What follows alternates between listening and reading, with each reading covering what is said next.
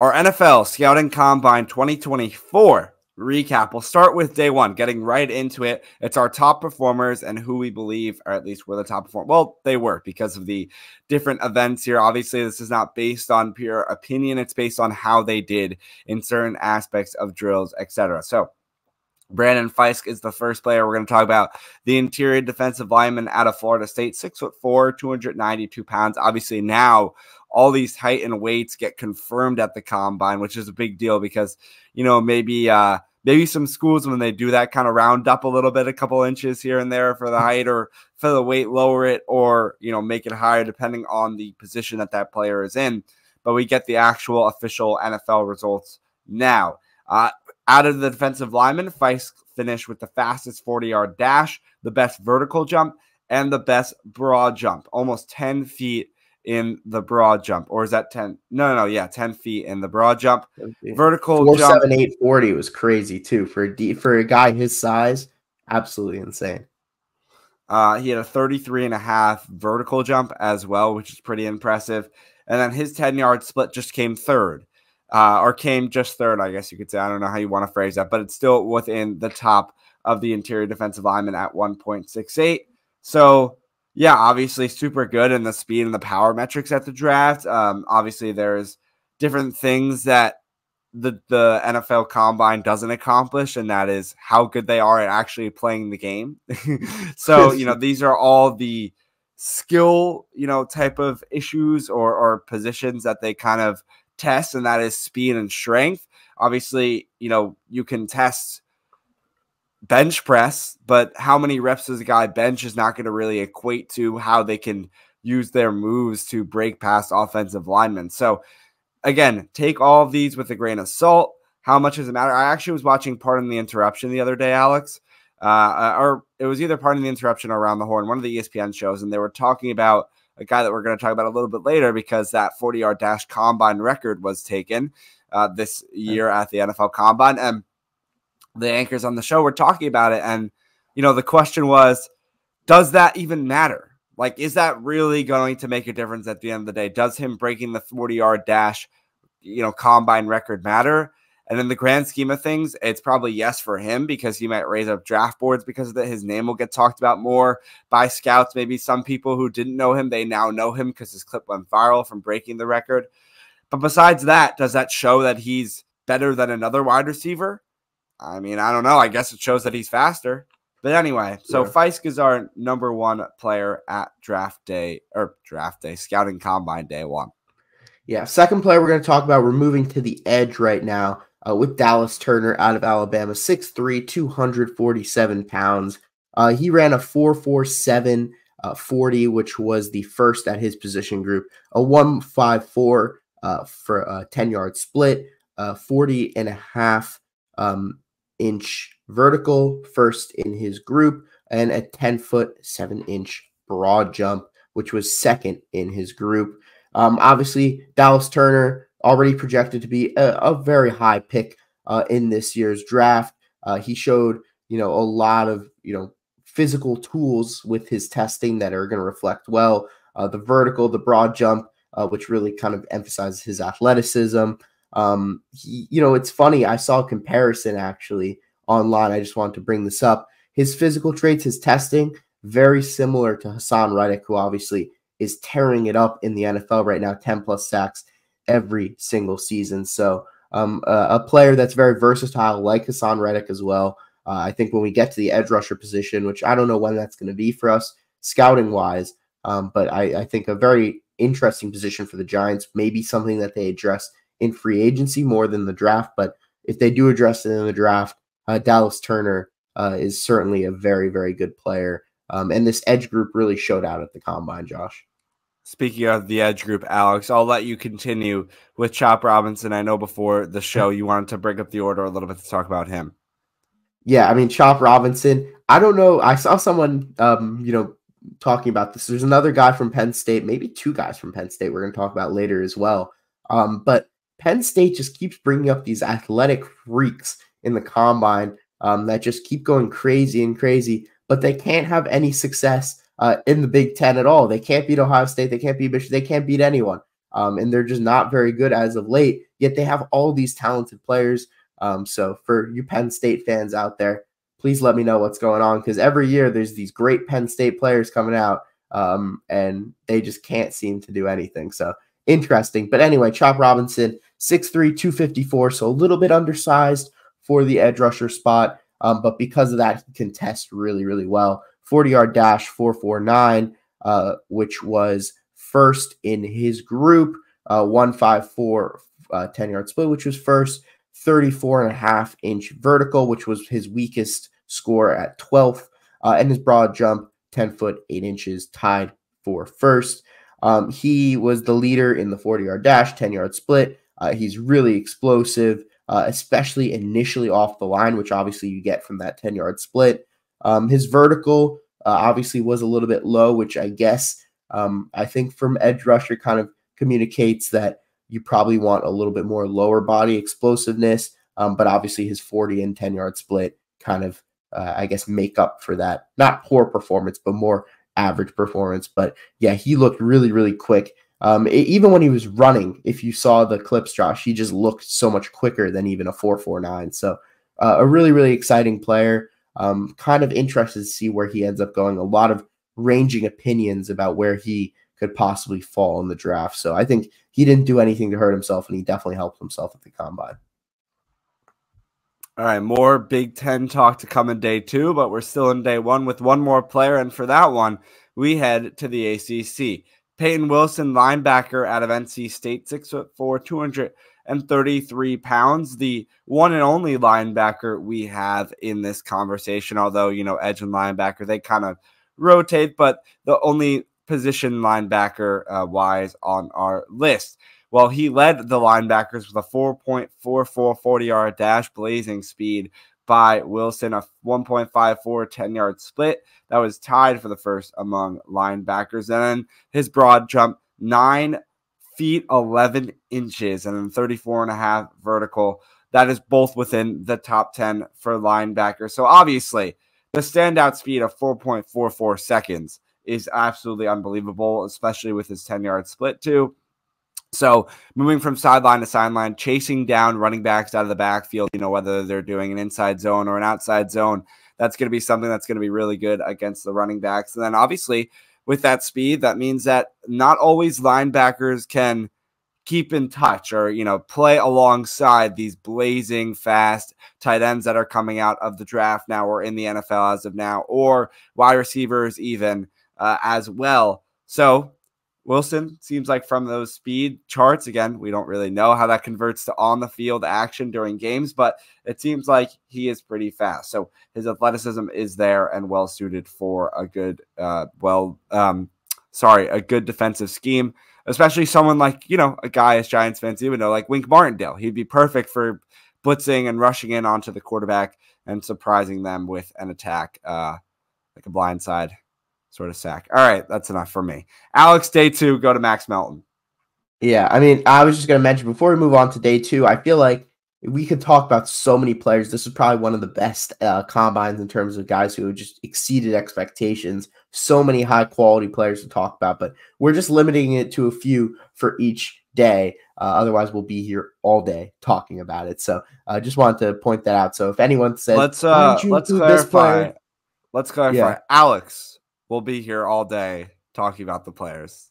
Okay, fair enough. But all I'll say is if your favorite player who you saw and you were like, why didn't they include him? He's he had a crazy combine. He was fantastic, especially when we get to day three with the wide receivers. I mean, I, I could put 10 wide receivers up there. There were so many great performances, but um, so just keep that in mind uh, and don't yell at us. Anyway, uh, moving on to day two here uh, with the DBs and tight ends. We're going to start with a local guy, Josh, Max Melton out of Rutgers, cornerback, 5'11, 187 pounds.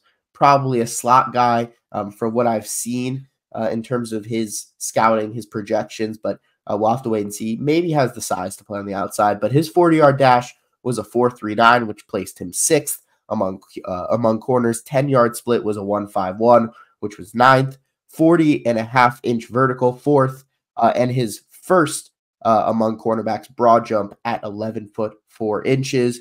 Um, he was really, really uh, a constant improver at Rutgers. Um, he can play both the inside and outside at Rutgers. Obviously, projects more as an inside in the NFL. Um, his broad jump and his 40 yard dash, uh, really obviously important uh, for the cornerback position, really shows his explosiveness as an athlete. Um, you know, size, burst, um, you know, it really should make him uh, ideal candidate, uh, you know, to be drafted somewhat early in this year's draft. Uh, maybe one of the earliest Rutgers players to come out in quite a few years. Obviously, we had Isaiah Pacheco; he's turning out pretty good. Um, we had Bo Melton a couple years back, or that was last year actually, Josh. So um, who knows? Maybe Max Melton, uh, related to Bo Melton. I got to check on that. Actually, I'm interested. Um, I think he could be someone who maybe breaks the mold uh, of uh, you know an earlier ish Rutgers pick because we haven't had that in quite a bit. And obviously, don't go to Rutgers. Neither of us do. But as the local state school, I guess we always kind of root for them, right, Josh? Yeah. Well, they're not really ever well, good, but yeah. So it's more like you feel bad for them and you just want them to do well. You know. I guess we'll go with that. Yeah, I'm I'm looking right now about your little uh Bo Melton. I just uh, realized that as I was talking, I was like, wait a second. I doubt correct. Correct. Max Melton. Yep. That's his younger brother. Oh, interesting. All right. Well, we'll see if he goes higher or lower than his brother in the draft. And we I go from sixth or seventh round. Sorry. yeah, we had him mock to the Giants a couple times just for kind of for fun. Um, Alex, we go from one side of the country to the other. We head to Utah. Cole Bishop, safety, six foot two, 206 pounds. Um, well, we could talk about safeties all day too because we both love that position. It was actually something again. I I'm not going to tease it all the time, but our interview with Justin Pennick, we talked about what his favorite positions are, and he was talking about he really likes to see these cornerbacks and safeties in the defensive end because the speed really shows, and that's what happened with Cole Bishop, a four four five 40, third among safeties, a 1.52 10 yard split. That was fifth among safeties. And then 39 inch vertical jump, and then 10 foot four broad jump, both top 10 among the safeties. So it aligns well with the scouting report. Uh, his 40 yard dash uh, combine result does you know his tackling ability, his his physicality, his essential traits for being a faster and quick quarterback that's able to stop uh, you know run defense effectively. Um, and his vertical bar, broad jump just shows that he has lower body strength. Um, and besides that, that's all I have for for Bishop. Alex, you ready for the next player? Yeah, we got two safeties on this portion of uh, what is it here, day two. So um, interesting. I know not a lot of people are talking about the safety group. I think they're sneaky good this year. Um, but you know, we'll have to wait and see where they end up going. But um, Jaylin Simpson out of Auburn, six foot one seventy nine. Um, he also ran a four four five, which was fifth among safeties, or he was tied third, I guess actually. But he, I guess they is it by the milliseconds or something that they placed them. I don't know how they do it exactly, but he was fifth. Um, one five one 10 yard split, fourth. Um, vertical jump 39 and a half, which was third, and then broad jump 11 foot 1 inch, which was second. His speed in the 40, uh, his explosiveness in the uh, vertical and broad jumps definitely just confirmed that he was going to be a really athletic safety coming out of college, which you uh, could see from his scouting report from his tape at Auburn. Um, a little bit undersized, of course, at 179, six foot, uh, but someone who, you know, if they can bulk up a little bit, could be a very, very impactful safety for a team uh, later in this year's draft. And our next player on the list is the one tight end we included in this um, little draft scouting combine recap, I should say. Theo Johnson, a tight end out of Penn State. Alex mentioning the Penn State guys on this list. Here's another one. He's a tank, six foot six, 259 pounds. Uh, his um, 4.57 40 yard dash these tight ends have blazing speed now, second amongst the tight end group. 1.55 second uh, 10 yard split. That was third among tight ends. 10 foot 5 inch broad jump, second amongst tight ends. And then 39 and a half inch uh, vertical jump, which is second amongst tight ends. His combine performance, particularly his remarkable results in speed and jumping events, underscores his physical traits, aligns with his anticipated potential. And we move from day two to day three. The running backs, wide receivers, probably what everyone is waiting for. And Alex will start us off with that. Yeah, starting with a guy that I don't think anyone expected to test this well, Isaac Guerendo, uh, out of Louisville, six foot, 221 pounds. Remember that weight, height, and weight when I'm talking about these, um, you know, combine data here. For his 40 yard dash, he ran a four-three-three first among running backs. Uh, 10 yard split, 155, a 13th run uh, among running backs, which is interesting. I'll talk about that in a second. 41 and a half inch vertical, first among running backs. Broad jump, 10 foot 9 inches, second among running backs. Um, so if you kind of look at his tape, everyone kind of sees him more as a power back, um, someone who could really uh, break, you know, kind of operate between the tackles. Um, but he has such elite speed, uh, which you could see from the combine, but not exactly, you know, initial burst, uh, which you see from the 10 yard split, which was ranked 13th. But once he gets going, no one is catching him uh, at that 433 mark 40. Um, so he's a really, really interesting player. Obviously, shows a lot of lower body strength uh, with the broad, uh, vertical and broad jump, which obviously is reminiscent of a power back, someone who could really break tackles.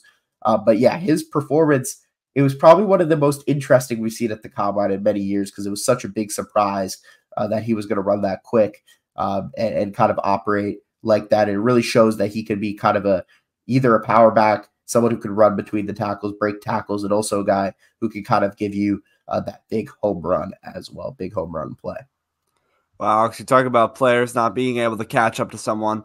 It's this guy right now, Xavier Worthy, the wide receiver out of Texas, who made the masses watch.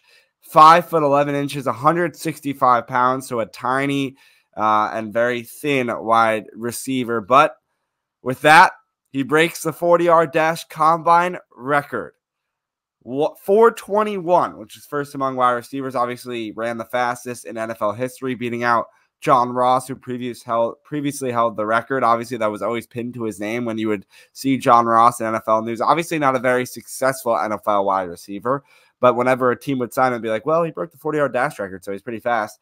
Um, this achievement for Worthy is hopefully going to, you know, help him climb up draft boards. But again, how much does it really equate to how good he is on the field. That's something that you have to think about. However, it's not just the 40 yard dash where he excelled at. The vertical jump, 41 inches, was second among wide receivers. 10 foot 11 broad jump was fifth among wide receivers. So, obviously, the four main uh, types of um, drills, excuse me, that they had at the combine, he excelled at. He finished within the top five at. And then, obviously, I mean, breaking the 40 yard dash record is pretty unbelievable. 4.21 seconds is crazy. And he knew right when it happened because he just kept running right into the end zone. So, congrats to Worthy for the combine record. Obviously, it gets people like us talking about him. So, he did pretty good. Yeah. And now moving on to another Texas Longhorn here in Adonai Mitchell, 6'2, 205. Again, remember the height and weight. He ran a 4'3, 40 which was second among wide receivers uh, at that height and weight, which is crazy. One five two 10 yard split, which was eighth. Vertical jump, third uh, at 39 and a half, and 11 foot four broad jump, which was first among wide receivers. He has remarkable athleticism for his side size, especially speed. Uh, he's a really big uh, contested catch guy as well, which you can see with his leaping ability, with the vertical jump, with the broad jump. Uh, so he can be kind of a guy uh, a run after catch guy with his speed. Uh, he could beat you over the top. He could do contested catches. Adonai Mitchell, really, really exciting prospect. Brian Thomas Jr. out of LSU also had an excellent day. Also ran, I believe, a 4.34 40. Also a huge, uh, a really big guy who really showed his athletic prowess. So uh, shout out to him. He kind of just missed out on this list, but I couldn't include three wide receivers in a day uh, that had wide receivers, running backs, and QBs. So we did unfortunately have to, you know, add a QB, and it's kind of a guy everyone's talking about, so I wanted to add him on the list.